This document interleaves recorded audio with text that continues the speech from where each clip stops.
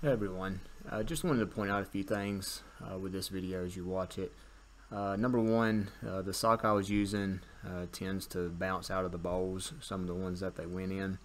So if you do this, uh, I would suggest use a sock that you don't ball tightly together and one that when it goes into the bowl won't bounce out. So you can try that before you start it. You could also just try using bigger bowls to see if that works. Uh, you will also notice at one point I almost slide into uh, the bowls and knock them over. So I see that as something that could happen if some people aren't careful.